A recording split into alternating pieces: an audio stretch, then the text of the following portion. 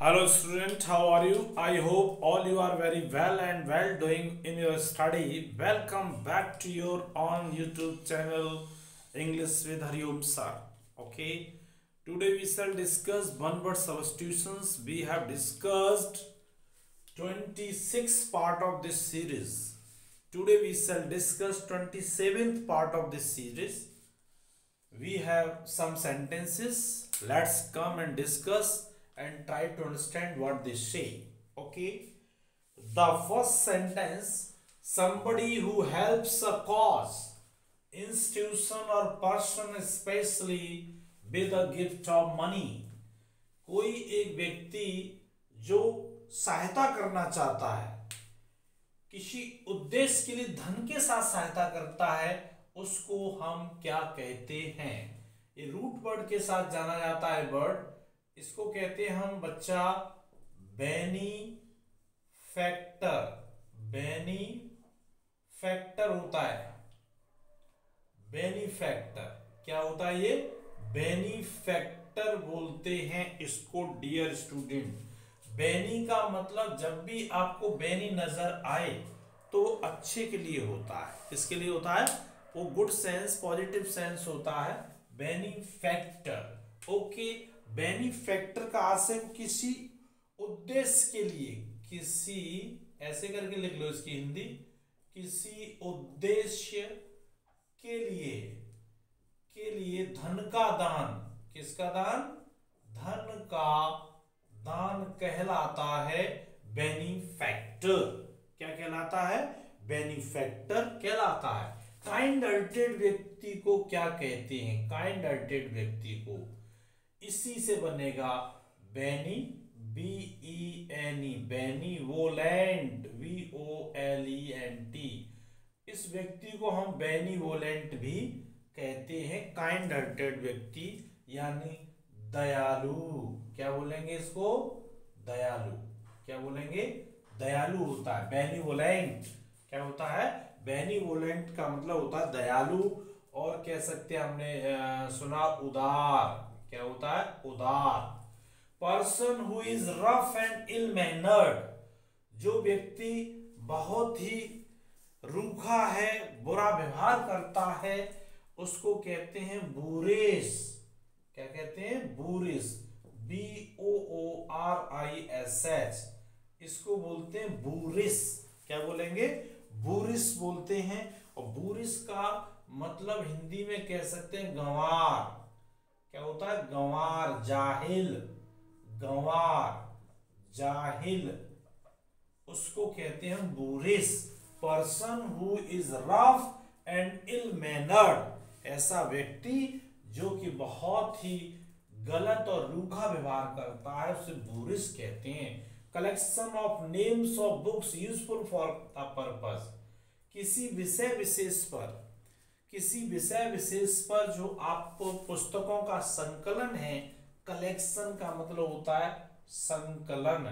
किसी विषय विशेष पर पुस्तकों का जो संकलन होता है, उसको हम क्या कहते हैं? पुस्तकों के लिए वर्ड आता है बिबलियो क्या आता है? बिबलियो बिबलियो वर्ड होता है। बिबलियो वर्ड होगा, वो कहीं ना कहीं पुस्तक से रिलेटेड होगा। बिबलियो ग्राफी बोलेंगे। क्या बोलेंगे? बिबलियो ग्राफी बिब्लियोग्राफी बोलते हैं उस कलेक्शन को, ठीक है? क्या बोलते हैं? बिब्लियोग्राफी। किसी खास विषय पर, किसी खास विषय पर, किसी खास विषय पर एकत्रित या जमा पुस्तकें, जमा पुस्तकों की सूची, पुस्तकों की सूची कहेंगे नेम्स है ना। किसी खास विषय पर जमा पुस्तकों की सूची कहलाती bibliography excessive desire about book collection यानी किताबों को इकट्ठे करने की अधिक से अधिक जो इच्छा होती है, उसको हम क्या कहते हैं, पुस्तक की बात आ गई। किसकी बात आ गई? बुक की। तो क्या वर्ड आएगा? बिब्लियो, बिबलियो रूट वर्ड है बच्चा ये, बिबलियो मनिया होता है। बिबलियो मनिया बिब्लियोमनिया वर्ड होता है। इसको कहते हैं क्या? किताबों के इकट्ठा करने की इच्छा। किताबों को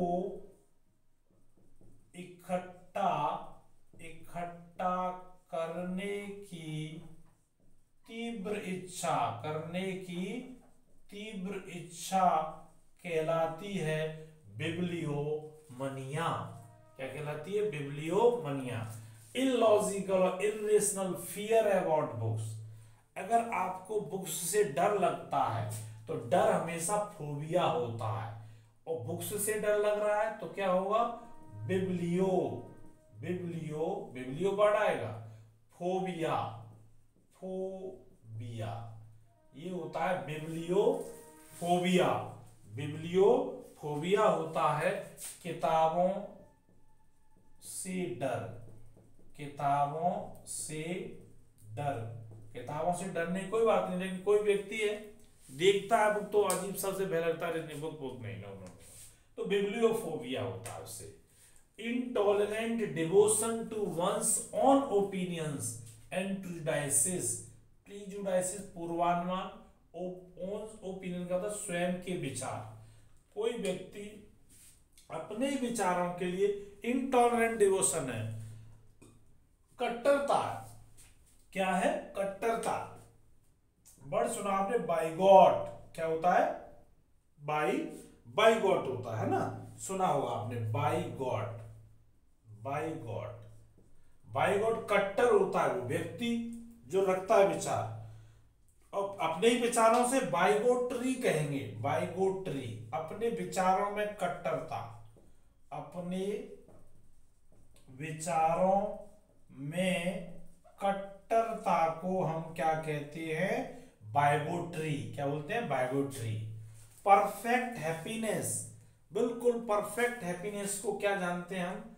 हम जानते हैं ब्लिस। क्या बोलेंगे? ब्लिस। परम सुख। क्या है? परम सुख।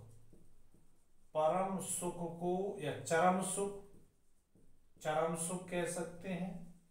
परम सुख हो या चरम सुख हो, उसको कहते हैं bliss. Examination of the tissue tissue का मतलब ऊतक। ऑफ़ अ डिज़ीज़ पार्ट बीमार अंग के ऊतकों का जाँच होना। बायोप्सी होती है। Biopsy. B I O B I O P S Y biopsy. क्या होता है? बायोप्सी होती है। यानी बीमार अंग का परीक्षण। बीमार, जो आपकी बॉडी में कोई पार्ट्स बीमार है, बीमार अंग की कोशिकाओं का परीक्षण, कोशिकाओं कोशिकाओं का परीक्षण, कोशिकाओं का परीक्षण होता है biopsy. A person who speaks two languages एक व्यक्ति जो दो भाषाएँ बोलता है, उसे बायलिंगुअल कहते हैं। क्या कहते हैं? बाईलिंगुअल क्या बोला जाता है उससे बायलिंगुअल कहा जाता है। B I L I N G U A L bilingual दोहे भाषी।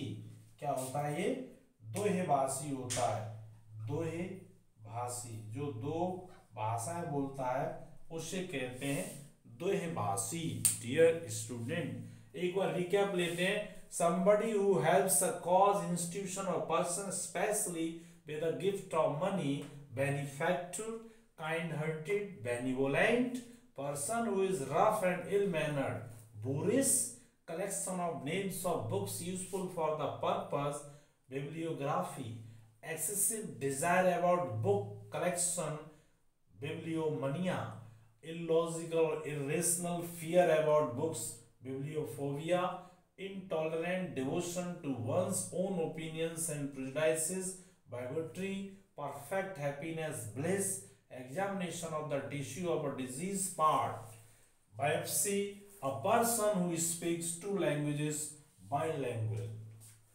okay dear student जो भी आज हमारे चैनल पर नए हैं वो चैनल को सब्सक्राइब करें बेल आइकन का बटन प्रेस करें so that you may get notification of coming video thanks for watching this video keep it up do regular practice you know very well regular practice makes you perfect in that field in which you want to be. Perfect. Thank you